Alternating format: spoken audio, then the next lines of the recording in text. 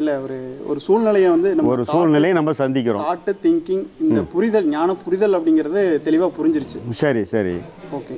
ஒரு சூழ்நிலையை நம்ம சந்திக்கும் போது அதை வந்து அந்த புரிதலை வந்து எப்படி நம்ம பயன்படுத்துறது அப்படிங்கிறத ஒரு விளக்கமாக சொல்லுங்க. சரி சரி ஒரு உதாரணத்துக்கு வந்து வீட்டில் வந்து மனைவி திட்டுறாங்க. இந்த சூழ்நிலையில நம்ம வந்து தாட் திங்கிங் இந்த புரிதலை எப்படி அப்ளை பண்ணி நம்ம அந்த சூழ்நிலையை நம்ம எதிர்கொள்றது. ம்.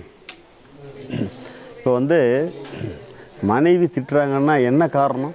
ஏதாவது ரீசன் இருக்கா? இல்லை எதுவுமே காரணம் இல்லாமல் திட்டுறாங்களா? ரீசன் சில சமயம் ரீசன் இருந்து திட்டுவாங்க. நிறைய நேரம் ரீசனே இல்லை. ஆமாம் ஸோ அப்படி என்ன அப்படி பார்த்தீங்கன்னா என்னன்னு கேட்டிங்கன்னா நமக்கு மிக நெருங்கிய உறவுங்கிறது யார்? இருக்கிறதுலே ஹையஸ்ட்டு நம்மளை பற்றி முழுமையாக தெரிஞ்ச உறவுங்கிறது யார்? மனைவி தான் ஏன்னா நம்மளை முழுசாக தெரியும். நம்மளுடைய கெப்பாசிட்டி யாருக்கு நல்லா தெரியும்? நம்ம ஒய்ஃபுக்கு தான் தெரியும். அதனால் வந்து அவங்களுக்கு தான் வந்து நம்ம மேலே இருக்கிற முழு ரைட்ஸ் உரிமை யாருக்கு இருக்குது அப்படின்னா அவங்களுக்கு தான் இருக்குது. இப்போது ஒரு பெண் அப்படிங்கிறவங்க வந்து ஒரு இடத்துல வளர்ந்து நம்ம வீட்டுக்கு வராங்க. அவங்க வந்து அவங்களுடைய அத்தனை எமோஷன்ஸையும் யார்கிட்ட காமிக்க முடியும்னு நினைக்கிறீங்க? உரிமையாக நம்மகிட்ட தான் காமிக்க முடியும். அப்போ வந்து அவங்க வந்து எது அவங்களுக்கு எந்த வகையில் பாதிப்பு அறிந்தாலும் எந்த வகையில் பாதிப்படைஞ்சாலும் நமக்கு நம்ம வீட்டுக்காரர் இருக்கிறான்னு சொல்லி அது திட்டுறதாகட்டும் சந்தோஷமாக இருக்கிறதாகட்டும் கொஞ்சறதா இருந்தாலும் சரி யார் இருக்கிறா அவங்களுக்குன்னு? நம்ம தான் இருக்கிறோம். அதனால் அவங்களுக்கு எந்த பாதிப்பு வந்தாலும் முதல்ல அடி வாங்குறது நாமளாக தான் இருப்போம். சரிங்களா? அதனால் என்னென்னா நம்ம வீட்டுக்காரமாவுக்கு அவங்களுக்கான ஒரு நாம் எந்த அளவுக்கு இடமளித்து ரிலாக்ஸாக நீங்கள் விடுறீங்களோ அந்த அளவுக்கு நீங்கள் வந்து அவங்கள வந்து கோபமே படக்கூடாது. இன்னும் சொல்லணுன்னா don't zombie don't don't cool down அப்படிங்கிற மாதிரி நீங்கள் எடுத்துக்கிட்டிங்கன்னா ரொம்ப ஈஸியாக இருக்கும். எல்லாம் அவங்களும் எ- எல்லாருமே இன்றைக்கி இருக்கிற கால சூழ்நிலையில் எமோஷனில் டென்ஷனில் தான் இருக்கிறாங்க. அப்போ அந்த மாதிரி பேசுகிறத வந்து சரி ஏதோ ஒரு பிரச்சனைக்காக எமோஷனல் ஆகிருக்கிறாங்க பேசுகிறாங்கன்னு எடுத்துக்கணுமோ தவிர எப்பயுமே என்னை திட்டுறதை தான் நோக்கமாக வச்சு செயல்படுறான்னு சொல்லி நீங்கள் வந்து ஒரு ஸ்டோரேஜ் வச்சுக்கூடாது இவங்க வந்து எப்பயுமே இப்படி தான் இருப்பாங்க.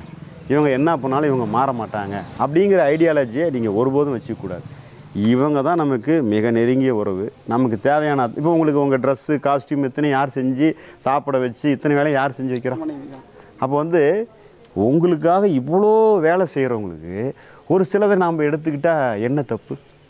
நாம் செய்யலாமே. தாராளமாக சந்தோஷமாக செய்யலாமே. இப்போ நமக்காக இவ்வளோ வேலை செய்கிற அவங்களுக்காக நாம் டீல் பண்ணுற கொஞ்ச நேரத்தில் அவங்களுக்கு பிடிச்சதை ரெண்டு செஞ்சு பார்ப்போமே. செஞ்சு அவங்க எவ்வளோ மகிழ்ச்சியாக இருப்பாங்களா இருக்க மாட்டாங்களா?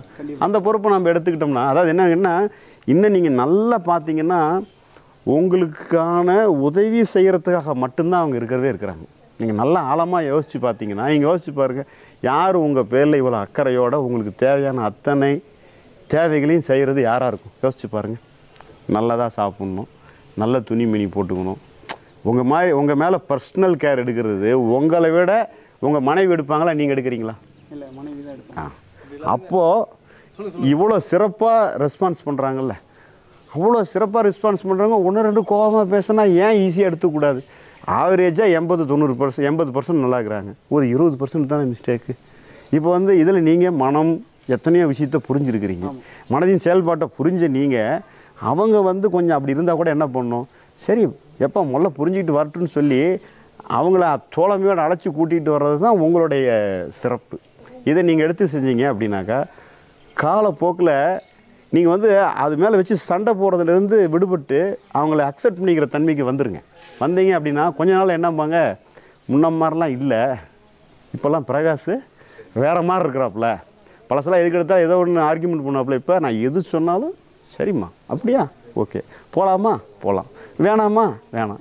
நீ எது சொல்கிறியோ அதுவே தீர்ப்பு. அவ்வளோதான் அப்படின்னு மாறிட்டால் லைஃப் வந்து ஸ்மூத் ரன்னாக போயிடும். இப்போ அதான் இப்போ நான்லாம் எப்படி பண்ணுறேன் அப்படின்னா எங்கள் வீட்டுக்காரமாட்ட சொல்லிடுவேன். எப்போ இன்றைக்கி எங்கே போகணும் என்ன போகணும் எல்லாம் நீ முடிவு பண்ணிக்க.